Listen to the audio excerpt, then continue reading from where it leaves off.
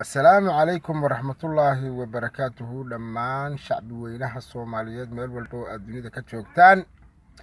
Waa xildhibaankii shacabka soomaaliyeed xildhibaan dacar nabad iyo nolol. Soo dhowaada soo dhowaada soo dhowaada aada u soo dhowaada. Hala soo dhowaado barnaamijka hala sheergareeyo. Saddexda maamul gobol ee dabadhilifyada ah ayaanu xoga maanta dad ka waraysan doonaa. Dhallinyarada dhulkaasi waa kacdoon saddexdaa magaalo saddexdaas magaalo ee hargeysa iyo kismaayo iyo meesha la yidhaahdo ii sheeg garawe dadka jooga ayaa maanta waxay gaareen inay hadlaan. Qaar ka mida waanu ka hadal siinaynaa insha allahu tacaalaa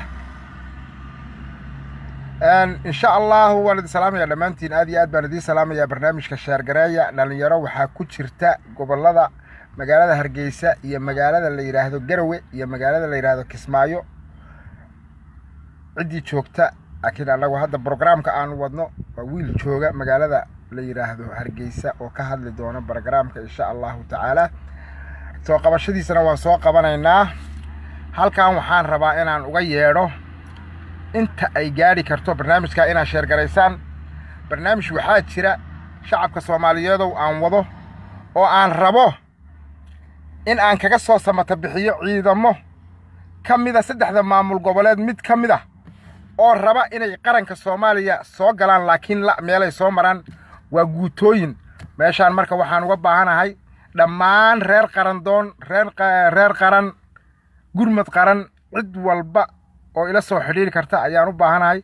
Waxaan u baahanahay saraakiisha ciidanka qaranka soomaaliya danab qaar ka mid ah hadday ila soo xidhiiri karaan ha ila soo xidhiiraan. Waxaan idiin hayaa xog muhiim ah anigu ma hayo saraakiisha soomaaliya nambaradooda iyo contactigooda meel lagala hadlo. Laakiin haddaad heshaan insha allahu tacaala fariintaydan waxaan jeclaan lahaa inaad ila soo xidhiidhaan anigoo xog idiin haya ciidan soomaaliyeed oo raba inay ku soo biiraan ciidanka qaranka soomaaliya. Ayaan rabaa in aan idinla wadaago saraakiisha soomaaliya iyo cid walba oo gaarsii karta ama contacti ka haysa saraakiishaas inay isku kaayo xidho ayaan codsanayaa. Marka koowaad shacabka soomaaliyeed oo guul iyo gobonnimo jubbaland waad aragteen horta iyada waa laga soo goosashadu way ku badatay. Puntland iyo somalilandna waan ku wadnaa. Maalmaha soo socda ballan waxaa ah inaannu kala soo go'no intaasoo kun oo dhallinyaro ah guutooyin ciidamo ah inaannu ka soo jarno. Inaannu ka kor qaadno shacabka soomaaliyeed ay puntland iyo somalilan dhekada kaga taagan yihiin sool iyo sanaag iyo cayn inaannu xorayno. Maalmaha soo socda qarandumis waa laga raayey qarandumis waa isku dhammaaday. Shacabka soomaaliyeed waxaa laga rabaa inay u istaagaan walaalahooda sool iyo sanaag iyo cayn. Ay u istaagaan walaalahooda kismaayo. Ay u istaagaan sharafta ummadda soomaaliyeed. Qof walba oo soomaaliya wiil iyo gabar dhallinyaro ah waxaa laga rabaa in uu soo garab istaago walaalahooda dulman ee maanta dhibaatada lagu hayo ee maanta la raba in la gumaysto. Qof soomaaliya miyaa qof soomaaliya gumaysan kara? Waa maya. Dadku waa inay sinnaadaan. Waa inay caddaalad wada yeeshaan. Waa in ay dadku isku kalsoonaadaan oo ay noqdaan dad hal qof ah. Laakiin shacabka soomaaliyeed waxaa laga rabaa maanta cadowga haysta dhiilasha iyo gabdhaha soomaaliyeed dhallinyarada soomaaliyeed ee sool iyo sanaag iyo cayn ku nool ee hargeysa ku nool ee boorama ku nool ee kismaayo ku nool ee magaalada la yidhaahdo garawa ku nool in laga kor qaado.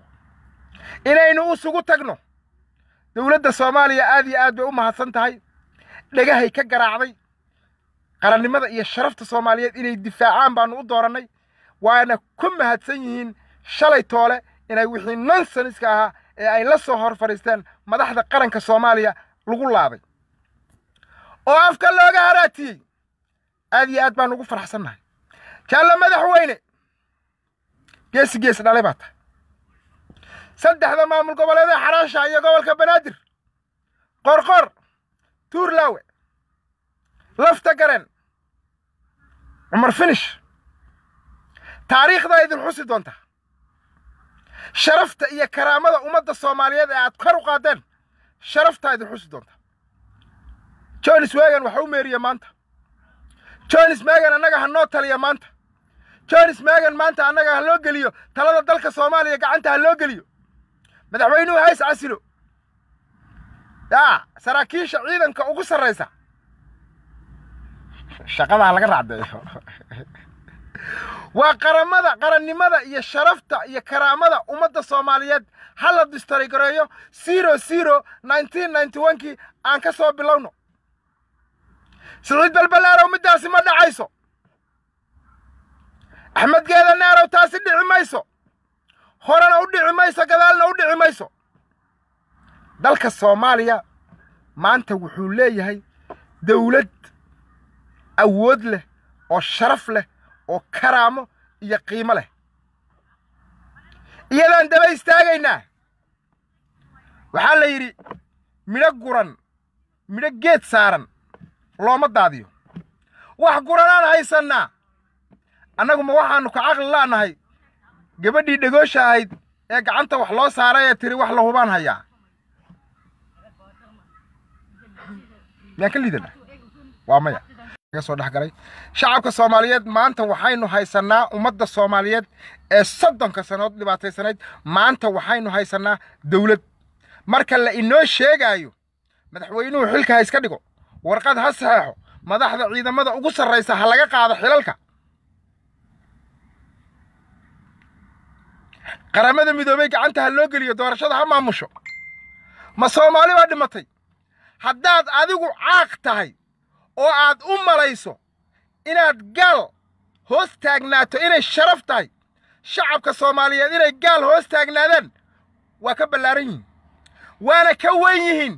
Runtaan kuu sheegayaa waxaa la yidhi riyo hadday bari leeyihiin tooday ku cawradooday ku asturan lahaayeen.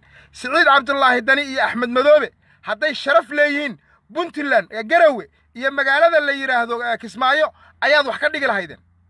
Oo ay dadnimo ka dhalan lahayd oo ay cadaalad ka dhalan lahayd oo ay sharaf ka dhalan lahayd oo barwaaqo noqon lahayd. Maanta inaad annaga noo sheegtaan madaxweynaha jamhuuriyadda federaalku xilka ha iska wareejiyo warqad ha saxeexo taliyayaasha ciidanka ugu sarreeya dhulka ha la dhigo. Qaramada midoobey gacanta talada ha ku qabato oo doorashada ha noo maamusho. War annagu caqliga mali'in qabyaalad waa ka weynaanay. Soomaaliya soomaali baa iskale. Daba dhilif iyo shisheeye u kalkaal. U malayn maayo u malayn maayo inay dib noogu soo noqonayaan. Cadowgayaga maanta waa aragnaa cadowgayagu waa ninka maanta nala soo hor fadhiistay madaxweynuhu hays casilo. Taliyayaasha ciidamadu hays dhiibaan. Xilka ha laga qaado. Qaramada midoobey baasha talada faraha ha ku qabato. Cadowgaagu waa kaas. Qofka soomaaliga ahow. Dawladda ay sheegayaan ee la dooran doono. Ma waxay maanta ka sharaf badnaan doontaa? Dawladda maanta jirta annagu maba hubnaba waxay noqon doonta waxa la dooran doona laakiin waxaan hubnaa oo aannu gacanta ku haysannaa dawlad sharaf leh oo karaamo leh oo baarlamaan leh oo shacbi leh oo karaamo iyo awood dunida ku leh maanta. Ayaannu haysannaa la yidhaahda nabad iyo nolol. Jaanis baadna siiseen waad ku mahadsan tihiin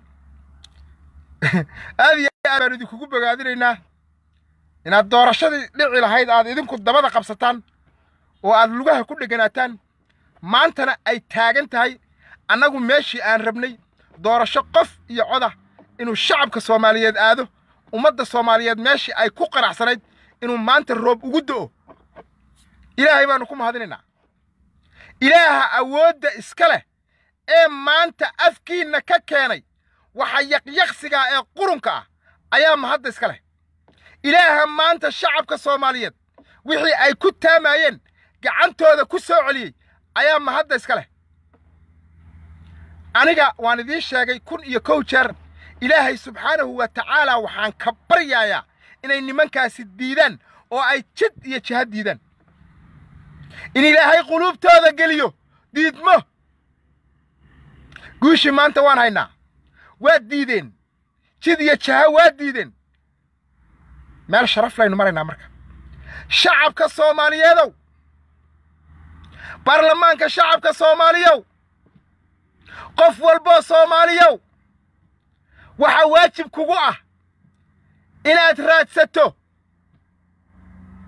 inaad raadiso doorasho qof iyo coda oo innagu aynu dooranno qofka aynu rabno oo aynu ka dhex aragno inuu horumar iyo barwaaqo iyo bashbash iyo nabad ina gaadhsiin karo. Xaq baynu u leennahay xaq baad u leedahay. Xaq baan u leeyahay inaan wax doorto. Xaq baan u leeyahay in lay doorto. Laakiin maanta in la igugu sheekeeyo qaramada midoobay baa doorashadaada maamulaysa madaxweynuhu hays casilo. Saraakiisha ciidamada ugu sarraysa xilka ha laga qaado yaa loo sacabo bannaysanayaa? Yaa dharka laga dhigayaa oo la qaawinayaa? Taasi waa dharka iska dhiga shacabka soomaaliyeed. Siddeed iyo tobanka milyan ee soomaalida ah dharka ha iska dhigaan iyagoo qaawan naked. Waa inay laamiga maraan. Midda laynoo sheegaayo waa middaas. Adinku middaa ku qanaca shacabka soomaaliyeedow. Waxaad ogaataan in la idin yidhi dharka iska siiba isqaawiya laamigana mara waa marka lagu yidhaahdo madaxweynuhu hays casilo? Saraakiisha ciidamada u sarraysa xilka ha iska dhigto? Golaha shacabku shaqayuu qaban yuu shaqaynin? Wasiirradu yaysan shaqaynin? Waa in lugaha qabto? Dowladda kenya waxay rabto kaa samaysato. Waannu fahansannahay. Waannuna diidnay. Mana ogolin mana yeelayno. Qof iyo labaa soo qaban doonaa barnaamijka sheergareeya aad iyo aad u sheergareeya wiil gobollada waqooyi iga soo wacay oo yidhi barnaamij xasaasiyaan kuu hayaa ayaan rabaa inaan soo geliyo. Hadduu imaqlaayo barada sig sig soo qor lixdan iyo lix soo qor lixdan iyo lix soo qor insha allahu tacaala si aan kuu soo qabto ilaa hadda dadka kaama dhex garan karo oo aan garan la'ahay makhaalid suleymaan baa waayo qofkaasi. Marka marka barada sig sig soo qor bal haddaad arkayso haddaad arkayso sig sig soo qor. Wiilkaasi arrin xasaasiyuu rabaa inuu nala wadaago. Gobollada waqooyi galbeed ee dalka soomaaliya meel ka miduu joogaa. Waxaan jeclaan lahaa inaad soo qorto lixdan iyo lix si aad bal bulshada soomaaliyeed aad codkaaga aad maanta bal aan u gaarsiino oo shacabka soomaaliyeed ay u arkaan waxa ku gubaya ama dhibka jira ee ku haya bal. Ilaadeerow waxaan kaa codsanayaa inaad lixdan iyo lix soo qorto qofkaasow si aan kuu garto insha allahu tacaala bal soo qor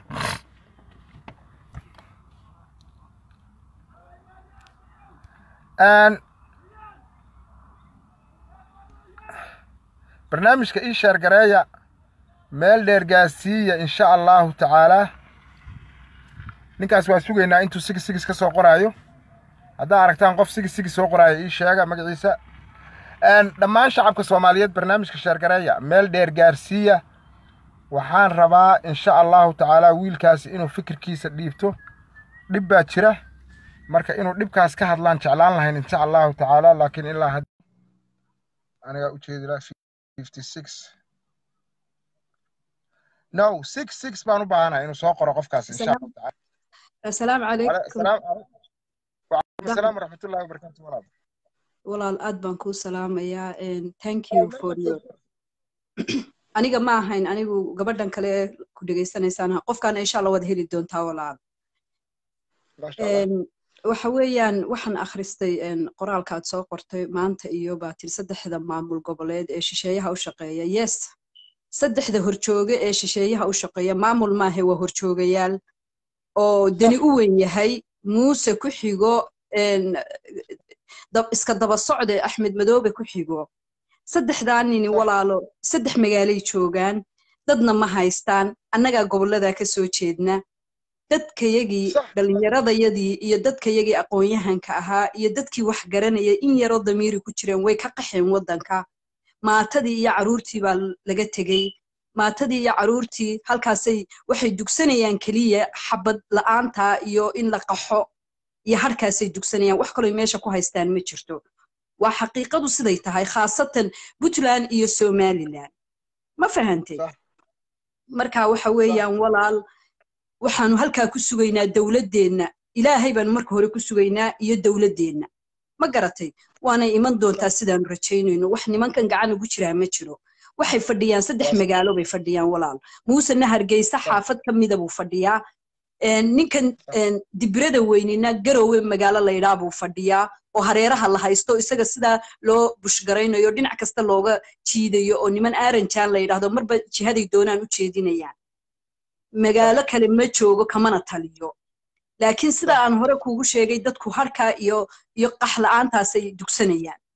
Oo ay gaajada iyo dayaca iyo xanuunka iyo dhibaato kasta ay ugu sabrayaan. Ilaahay idankii waxaana rajaynayaa in ilaahay sabirkoodaas uu arko oo uu ku caawiyo oo ilaahay si sida ugu dhaqsiyaa badan dhibaatadan uga dulqaado insha allah aamin. Aamin ilaahay waxaanu uga baryaynaa inuu ka kor qaado shacabka soomaaliyeedna. Waxaanu ka baryaynaa inay garab istaagaan walaalahood oo ay dhibaatadu haysato oo loo gurmado dadkaas soomaaliyeed ee ay dhibaatadu haysato insha allahu tacaala. Aamiin walaal ta kale waxa weeyaan nimankan maxay ahaydtay hadda ninka la yidhaahdo deni uu horboodayo. Weliba deni iyo axmed madoobe khaasatan markan afka aad ugu dhufto waxa weeyaan waxay isla hayaan ma jirto. Waxa ay meesha la yimaadeenna waa kenya warkeedii. Ciidamada kala eri si hogaamiye ay u weydo si ay u burburaan si kenya ay waddanka u soo gasho oo ay u qabsato. Kow oo gobolka geda iyo gobollada koonfureed ay u qabsato. Maxay ahayde iscasil oo waddanku fawdo ha noqdo ha la kala yaaco oo hadhowna geedkii timirka ahaa farole intuu fadhiisto ha yidhaahdo waxa weeyaan wixii xayawaanka ahaayee xamar iyo dhulka.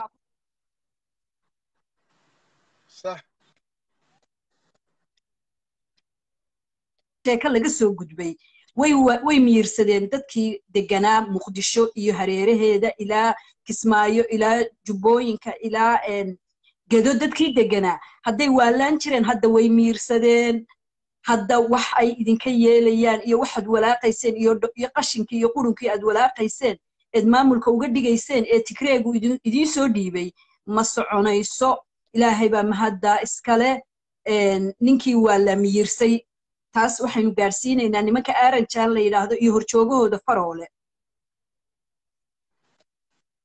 May maqlaysaa marka waxa weeyaan walaal alxamdulilah rabbilcaalamiin ilaahay baa mahaddaa iskale. Waxa weeyaan horumar iyo wanaag iyo barwaaqo ayaa gobollada ay dhibaatada iyo baaba'a la rabaan ka socda. Iyaga ayaa maanta dadka ka hadhay dadkiina way ka jeesteen. Iyaguna insha allahu sidii ilaahay laga arki jiray dhaqso ayay noo dhaafayaan. Waddankeenu waa guulaystay madaxweynaheenu waa guulaystay madaxweynaha waxa weeyaan liidarka iyo hogaamiyaha ayaa dadku u egaadaan dacaro. Innaga hadda waxaynu u egaanay madaxweyne farmaajo because isaga ayaa wuxuu ina tusay liidarnimo han qab dadnimo iyo in maya wixii aanan kuu qalmayn la yidhaahdo. Ma garatay that's why bay dadkii soomaaliyeed ay isu bedeleen yar iyo weyn mid gudo jooga iyo mid dabad jooga. Dadkii soomaaliyeed runtii isbeddel weyn weyn weyn baa ku dhacay.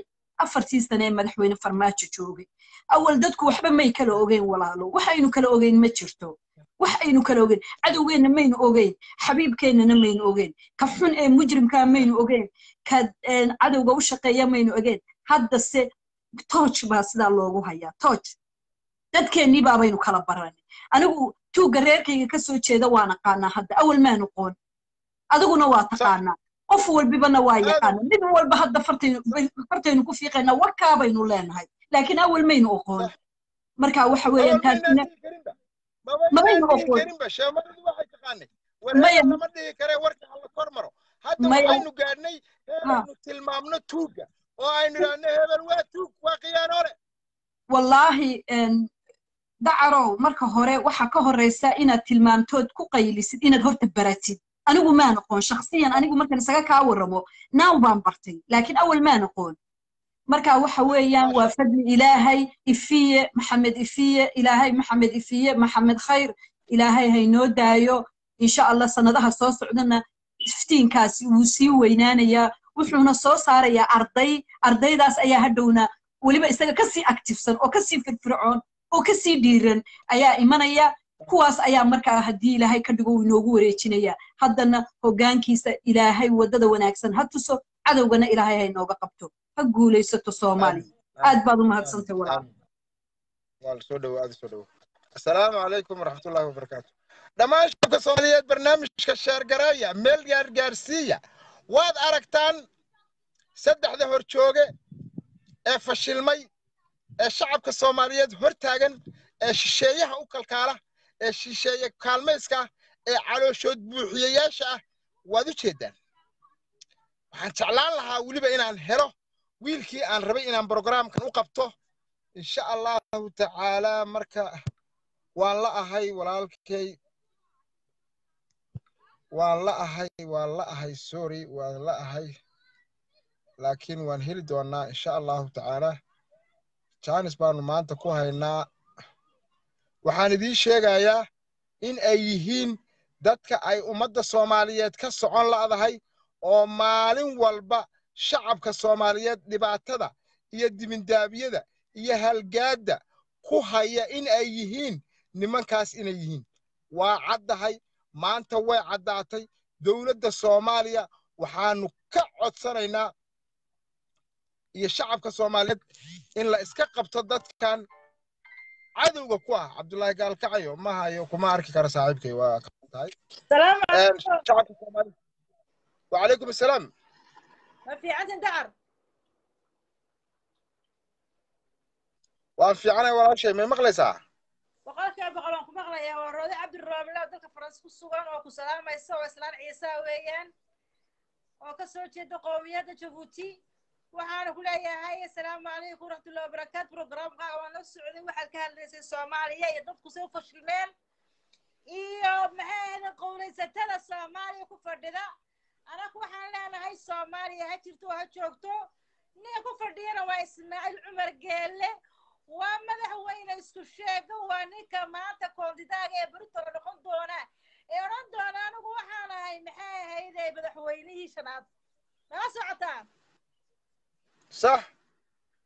Waa adaga iska burbura iska kurkursanaya iska kici karla iyaa odhan doona beritoole oo jimco ah odhan doona shantii maandaagii shanaad baan ku soo noqonayaa isaga ayaa ka dambeeya soomaaliya inay joogsato inay cidhib iyo wanaag yeelato inay isku taagto cidhbaheega ka xun kuna diraya maxay ahayd maalgelinaya sida kolba loo dhigo af soomaaliga? Maxay ahayday jahbadda ka diraraysa soomaaliya ama se lagu sheego dadka qowlaysatada soomaaliya markaas waxaan leenahay soomaaliya ha jirto oo ha joogto. Soomaaliya ha guulaysato. Curad baa u dhashay soomaaliya.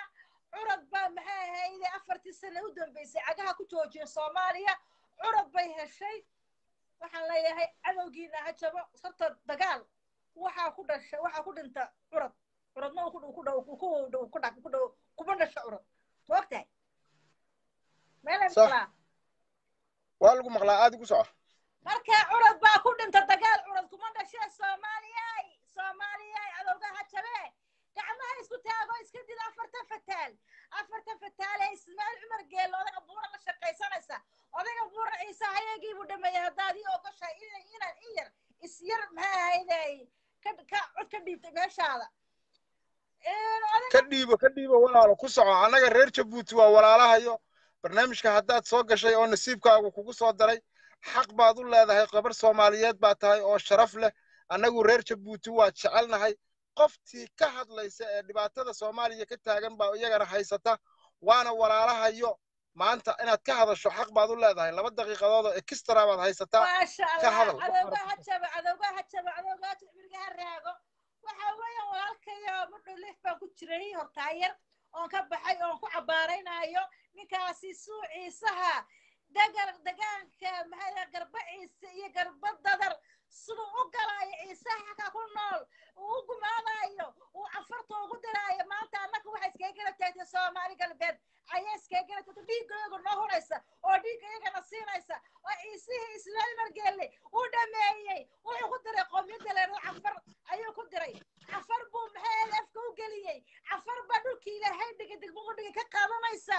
Markaa ninkaa buura iska seexseexanaya maanta shalay u dambaysay wuxuu wareegtada uu samaynayay dadkii ciyaalkii maxay ahayd u soo baxay ka heesaayey cafar buu ku diray. Isagiina waxa ku dhex ku sheegaa. Waa la qaadi kari waa ilaa nin buura weeyaan. Dariiqu ku soocay marka waxa weeyaan waxaad waxaad beerataa.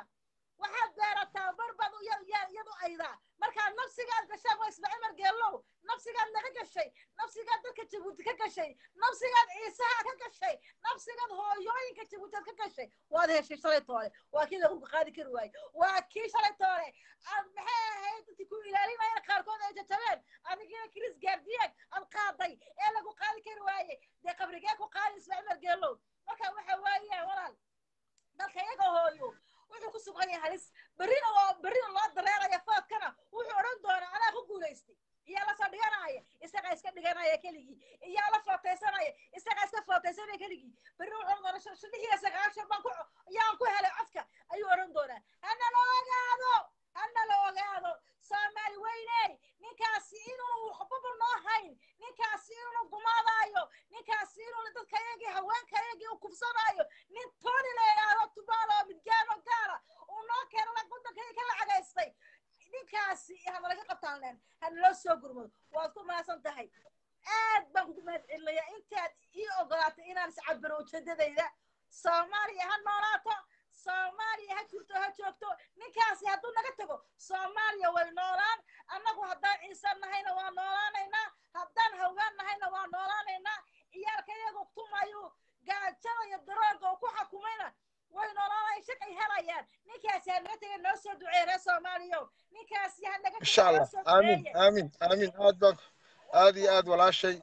Aad iyo aad baad u mahadsan tahay waad fiican tahay. Sharaf baad ku noolow sharaf ku noolow reer jabuuti fifa. Dhammaan shacabka soomaaliyeed waad ogtihiin sool iyo sanaag iyo cayn. Jabuuti xitaa maanta waa laga soo qaylinayaa oo nabad maaha orgob laa haysta.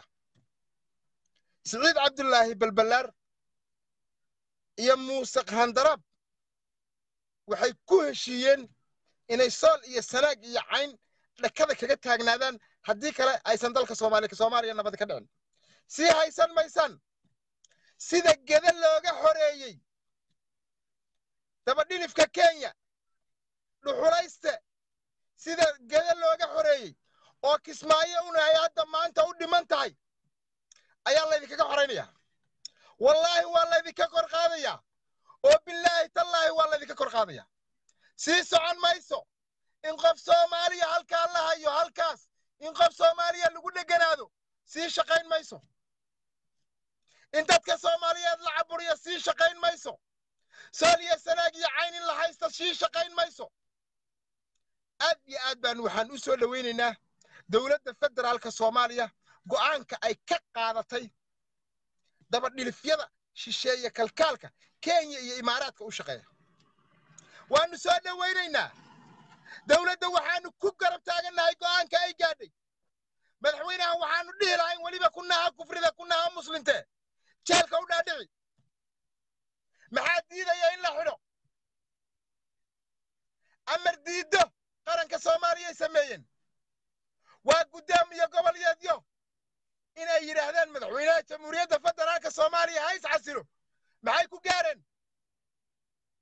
Ma iyagaa xilka u dhiibtay kolaha shacabkaa xilka u dhiibtay madaxweynaha. Iyaguna ma dhihi karaan meesha isagu iska casili lahaa waa in iyaga la soo xidhxidho. Meelasha taliyayaasha ciidamada laga casili lahaa oo xilka laga qaadi lahaa waa in iyaga la xidhxidho. Siciid cabdullaahi dani iyo axmed madoobe maanta jeel bay ku jiraan. Waxaan dhihi lahayn shacabka soomaaliyeed haddaanu nahay yaan laga soo saarin. Meeshooda ha ku jiraan reer puntland iyo reer jubbalandna ha ka tashtaan war dad raadsada. War reer puntland oo dad raadsada. Waxaan dugaagga ah ee ragga dharkooda ka hadlaya. Ilaahay baan ku dhaartay. Silwaal iyo shaadh ningashan yahay ninka ka hadlay. War adigu hadday taadu kuu samayn kari weyday ninkaa sharafta leh. Ee dubbe la yidhaahdo ilaahay baa siiyey mid dhaqdhaqata ilaahay baa siiyey mid mid u xarakaysa ilaahay baa siiyey mid dhar ka kala beddesha siciid cabdullaahi dariyo haddaad adigu weyday dee ragga ha cawrin. War ragga ha cawrin. Laba suur buu soo kala gashtay kulaha labada suurde waa gashtay. Sharaftiisa xaragada waa loo dhashaa. Sharafta waa loo dhashaa. Karaamada iyo haybada waa loo dhashaa. Sharaf malihid karaamo malihid haybad malihid xarago malihid dadnimo malihid soomaalinimo malihid caqli kugu filan oo madaxaaga ku jiraana ma jiro maanta. Maasha allah. Wasiirka warfaafinta mister dubbe dib baad ku tahaye garaac. Madaxa kaga garaac! Soomaaliya waxaan leeyahay guulaysta. Shacabka soomaaliyeed wiilasha iyo gabdhaha soomaaliyeed waxaan leeyahay guulaysta. Nimankan daba dhilifka ah ama hotel jasiire ha joogan. Ama baarlamaan ha laga saaro. Ama hargeysa ha joogan. Ama magaalada la yidhaahdo garawa ha joogan. Ama magaalada la yidhaahdo kismaayo ha joogan. Waa la yska qabanayaa shacabka soomaaliyeedna waa laga xoraynayaa. Waa in laga xoreeyo. Maanta waxay diidan yihiin war soomaaliya ha sinaato. War dadka la siman. War soomaaliya waa siman tahay war dadku ha sinmaan ayuu diidan yahay. Dad buu rabaa inuu qori dhakada kaga hayo. Oo uu cashuurtooda qaato. Oo uu taangi ku haysto. Yahaa dhigtay ay u dhiibtay ma sii soconaysa wallaahi. Sidii yahaa dhigti baa lagu bixinayaa. Sidii t b r f t baa lagu bixinayaa sidii waxaa lagu xoraynayaa loo xoreeyey tigree dalka etoobiya looga xoreeyey ayaa lagaaga xoraynaya dalka soomaaliya shacabka soomaaliyeed wiilasha iyo gabdhaha soomaaliyeed ee sharafta leh dhammaantiin inta i fiirsanaysa inta i fiirsan doonta kulligiin waan idin salaamaya assalaamu calaykum waraxmatullaahi wabarakaatuhu baan idin leeyahay. Laakiin waxaan idinka codsanayaa shacabka soomaaliyeedu maanta waxaynu aragnay cadowgeenna maanta waxaynu aragnay meesha ay sharaf darradu inaga haysato. Maanta waxaynu aragnay meesha aynu ka liigayno. Maasha waxaynu aragnay meesha doqonnimadu taallo. Ayaynu aragnay. Maanta waxaynu aragnay gumaysiga kuwa daba dhilifka u ah. Maanta waxaynu aragnay dad soomaaliya oo raba gumaysi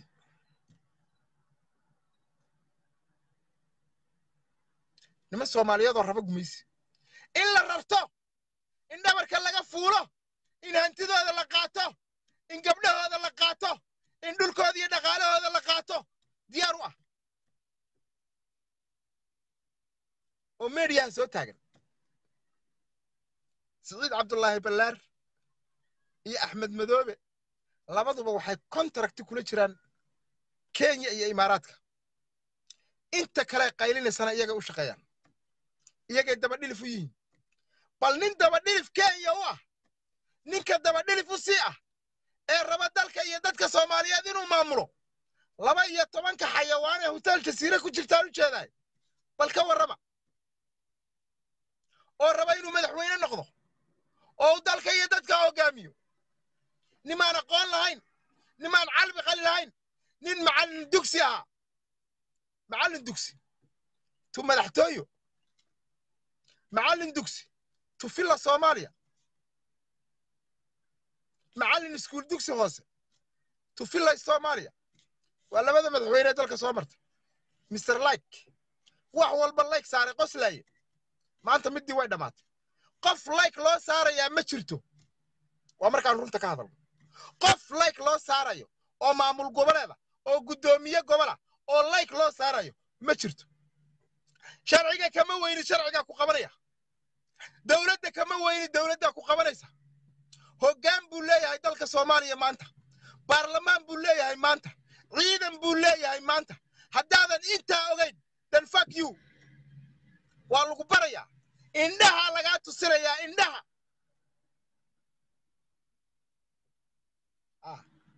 Saasaanu ka rabnaa. Dowladnimo waa midda maanta dhalatay. Shacbiyadnimona waa midda annagu aanu maanta u hayno dowladda soomaaliya iyo baarlamaanka soomaaliya. Guul baanu joognaa sharaf baanu u jeednaa soomaalinimaanu u jeednaa xaqiiqadu waxay tahay gabar saxnuuni la yidhaahdo ayaa shalay toole way abtirsatay. Hooyada soomaaliyeed hooye saxnuuni waa ku salaaminaa. Aad iyo aad baanu kuu salaaminaa aad iyo aad baanu kuu bogaadinaynaa aad iyo aad baad sharaf u leedahay. Qofka soomaaliga waa inuu ogaadaa inuu soomaali yahay inuu nabad iyo nolol yahay waa inuu intaas ogaadaa bes. Waxa kaloo dhan iska ilow. Qabyaalad iska ilow. War toddoba iyo labaatan sano lix iyo labaatan sano ayaynu qabiil isku dilaynay oo aynu qabiil isku kufsanaynay oo aynu qabiil isku dhacaynay maxamed cabdullaahi farmaajo? Xafidullah wuxuu yimid dal iyo dad burbursan. Markaasuu wuxuu yidhi ninkii yidhi oo kale wargeel ayaa la jooga. Wax la hadluu waaye markaasuu wargeel ayaa la jooga. Markaasuu wax la hadlo waaye markaasuu waryaa geela la jooga. Markaasuu wax la hadlo waaye aakhirkiibu wuxuu yidhi oo maxaan u leeyahay ayaa la jooga anaaba la jooge. Maxamed cabdullaahi farmaajow? Soomaaliya adaa la jooga. Cidina lama joogto ilaahay subxaanahu wa tacaala baa kuu soo diray ilaahay baa aqoon kuu soo geliyey ilaahay baa dadnimo kuu soo geliyey ilaahay baa sharaf kuu soo geliyey ilaahay subxaanahu wa tacaala baa awood kuu soo dhex geliyey awooddaada arag shacabka soomaaliyeed waad u hiilisaye allah kuu hiiliyo shacabka soomaaliyeedna waxaa laga rabaa inay abaal gudaan oo ay u abaal gudaan shakhsiga ilaahay inoo soo diray subxaanahu wa tacaala inaynu u ducayno iyo inaynu garabkiisa istaagno ayuu inagu leeyahay maanta maxamed cabdullaahi farmaajo xafidullah iyo inta la shaqaysaba iyo dowladdiisoo dhan waxaanu leenahay xafidullah qof walboo soomaalinimada jecel xafidullah ummadda soomaaliyeed xafidullah cadowga ha dhaco cadowga ummadda soomaaliyeed ha jabo daba dhilifku ha jabo iswaagan ha dhaco in allaaliya inta soomaali cadowga ku ah ha jabaan oo ha dhacan oo ma rabno habeenna ma rabno maalinna ma rabno madaxweyne maxamed cabdullaahi farmaajaan rabnaa war yaa igu raacsan like iyo sheer ku qaba haddaba haddaad igu raacsan tahay maxamed cabdullaahi farmaajo. Inuu yahay hiiro inuu yahay madaxweynaha ummadda soomaaliyeed. Inuu yahay nin ilaahay u soo diray. Like iyo sheer ku qor. Aamiinna soo qor. Barnaamijka sheer garaya annagu xaqa iyo baadilka waa kala naqaanaa. Ma nihin dad kala garan waaya. Xaqa iyo baadilka. Xalaasha iyo xaaraanta xalaal baan u jeednaa waana maalaynaa xaaraan dooni mayno midda siciid cabdillaahi budani haysto dooni mayno mana rabno. Xalaashaan qaadanaynaa haddaannu shacabka soomaaliyeed nahay xaqaan qaadanaynaa ilaahay noo soo diray ayaan qaadanaynaa xaqdarra qaadan mayno xaqdarra waa midda konteynerka ku jirta maanta xaqdarra waa midda huteel jasiira joogta. Xaqdarra waa midda hargeysa fadhida. Xaqdarra waa midda isku sheegtay inay tahay guddoomiyaha aqalka sare ee shacabka soomaaliyeed. Ma xaqdarradaynu qaadannaa shacabka soomaaliyeedow wiilasha iyo gabdhaha soomaaliyeedow mise xaqaynu qaadannaa dad muslinaynu nahay boqolkiiba boqol muslina xalaasha inaynu quudanno oo aynu xalaasha qaadanno ayaa ilaahay subxaanahu wa tacaala inoo sheegay ee aynu qaadanno nimankan xaaraanta aan dhigno xaaraani hadday naf leedahay soddon sannadood ayay xaaraan ku soo dhex jireen. Maantana waa midda konteynerka ku xidhay maanta waa midda ku xidhay huteel jasiira waa hadday xaaraani naf leedahay meydyaa u dembeeyey xasan sheekh maxamuud iyo sheekh shariif ayaa madaxweynada madaxtooyada soomaaliya isaga dembeeyey maantana waxaan qaylo iyo cabaad ahayn kama hayaan. Maantana sharaf darro waxaan ahayn kama hayaan. Waxaan qiimo dhac ka ahayn kama hayaan. Welina waa soo taagan yihiinoo hunguriyay rabaan.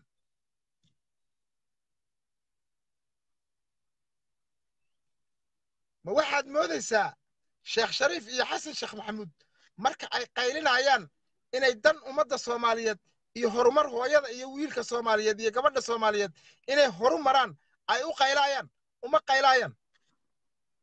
Toban iyo kowdii sannadood ay xilka hayeen wixii ay sameeyeen ayuunbay rabaan haddana inay sameeyaan. Waa xaqiiqada. Laakiin alxamdulilah maanta ummadda soomaaliyeed waa aragtay uf bay tiri uf!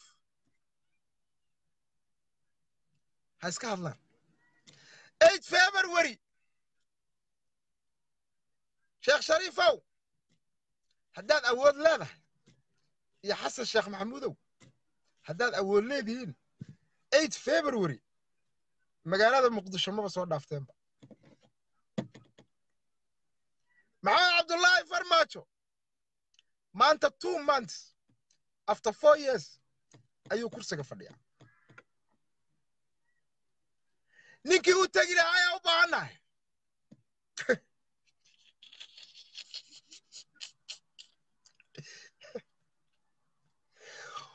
wadnaa diiday. Afar shaagle laga baqay. Waa xaqiiqada taalla. Eight february wixii dhici lahay waa isku soo dhammaatay. Waxaa dhacay maxamed cabdulaahi farmaajo xafidullah inuu kursiga madaxtooyada ku fadhiyo maantana uu dalka madaxweyne ka yahay. Laba sannadoodna aan gacanta u saari doono. Afar sannadood oo qof iyo codana aan anigu u foodgarayn doonaan siin doono. Cid diidi karta ma leh nin wax ka beddeli kara ma leh. Afartan milyan ee magaalada muqdisho joogta ayaa wax ka beddeli karta. Mana ka beddelayaan maanta waxba. Maxamed cabdullaahi farmaajo shacabka soomaaliyadow reer nabad iyo nololow laba sano oo foorfayda oo ay kuwan xoolaha ah aan madaxooda caqligu ku jirin ay ugu dareen ayuu ku darsaday qof iyo cod baa la tegayaa waa maxamed cabdullaahi farmaajo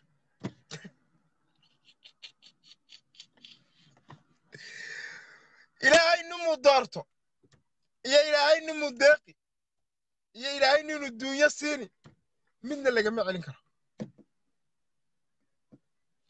laakiin waxaa la yidhaahdaa ninkii ilaahay darajo iyo xil la maago shacabka soomaaliyeed ayuu jeclaysiiyaa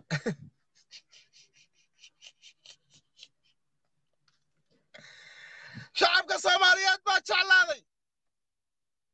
Ilaahay subxaanahu wa tacaala baa raalli ka noqday oo quluubta shacabka soomaaliyeed oo dhan ku beeray.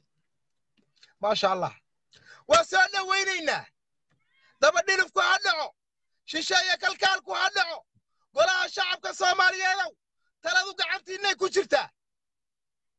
Madax meel ka sarraysa oo la salaaxo ma jirto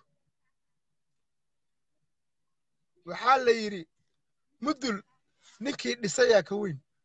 Maxamed cabdullaahi farmaajo idinkaa dhisay idinka.